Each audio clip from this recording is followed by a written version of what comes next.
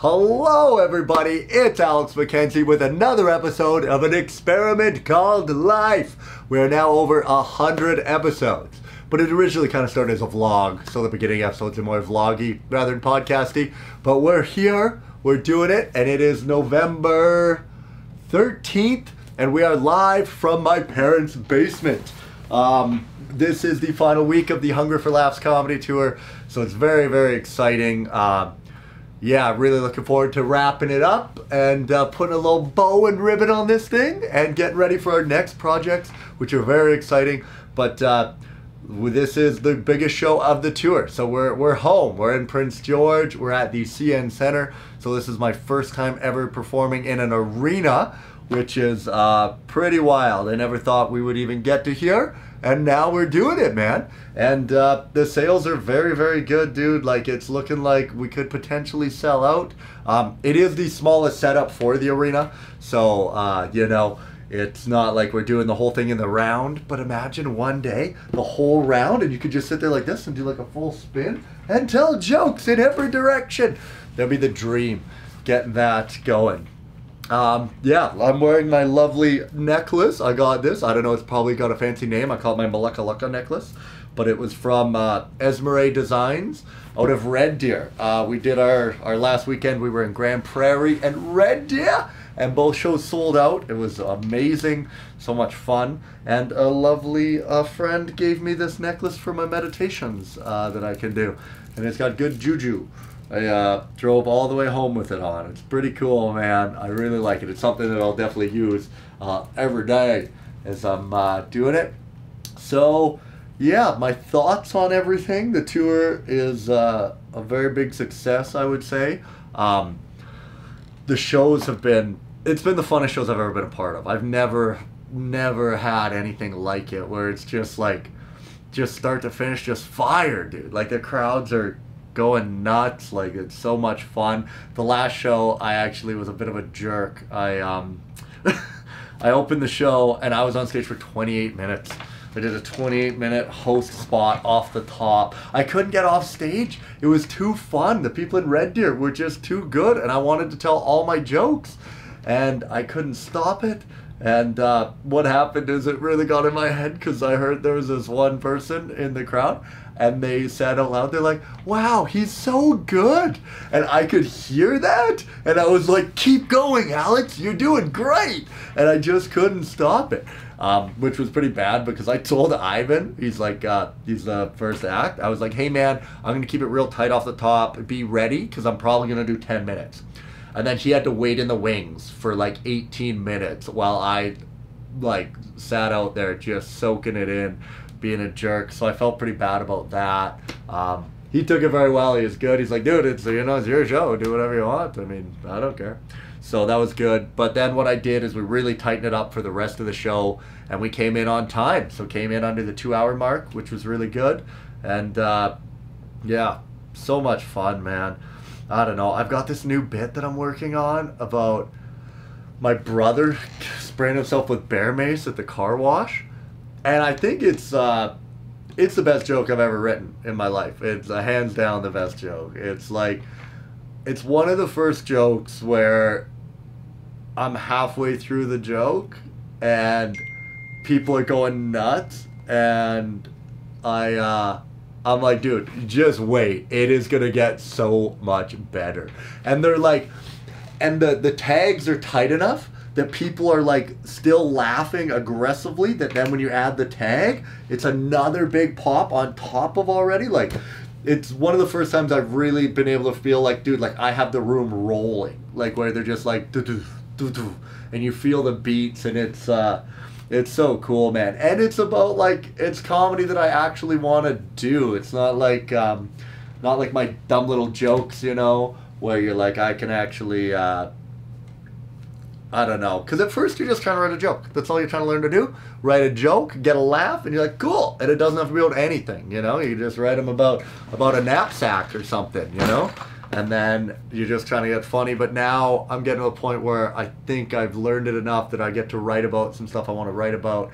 And uh, that's why I'm kind of excited to be done. The tour is I feel way too producery, but it's already like the problem is I don't know if the, when it's gonna stop. Like we're getting close, we're getting so much more, but I I can feel it. Like when I start doing too much producer stuff, so you're always worried about like, you know, just stuff to do with the shows, like emails back and forth from to the venues, and you have to email with the tech teams and load in times and travel and hotels and marketing and ticket sales and then you're working with all the charities and um, all of that stuff is really draining and I really miss like the creative process. Like I really miss the I love writing dumb jo- I love writing those dumb jokes and like putting them online and then writing my stand up and like working on that craft and like trying to get better at that. And I can feel my soul needs it right now, man. Like I just need to get back to uh, creating some more stuff and uh, putting out some more some more content, as the kids say. Um, but yeah, I don't know. So the tour, it's almost finished, and then I've got most of December to do that. I've only got like one actual book show in December in Banff, which I took the show because it's Banff, and I'm like, dude, Banff in the winter, like that's gonna be a fun time. Like it's just beautiful, the snow, the mountains. Plus, I just love Banff, man. That's where like I do my fasting, and uh, every time I go there, it feels I definitely recharges my cup. Like my little spiritual. If I if my spirit meter was like a health bar in a video game, every time I go there, it's just like back up to the green. You know, so I'm really looking forward to that show, and then uh, just getting to hit the stages again in Vancouver, getting to do all those little five minute spots again. That is something that's bringing me a bunch of joy. Like just being able to get on stage like multiple times a night, and just get get this stuff rocking and uh, rolling, as the kids say. And then uh, after that, we're getting ready, dude. We've got our East Coast tour coming up.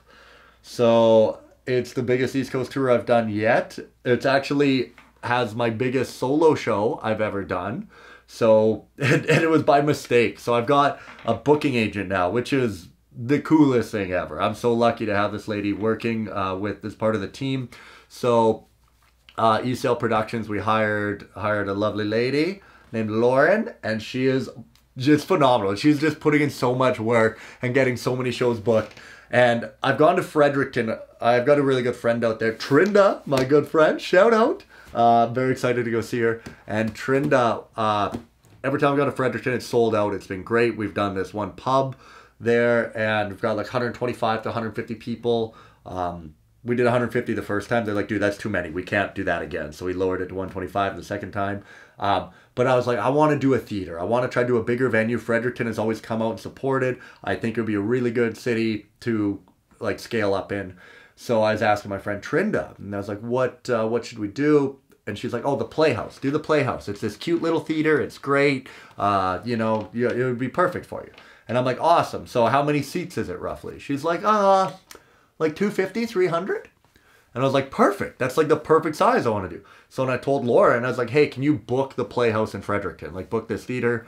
And uh, turns out, uh, Lauren got it all booked. It was great. Sent me everything. And it turns out, dude, it's 700 seats. It's over 700 seats.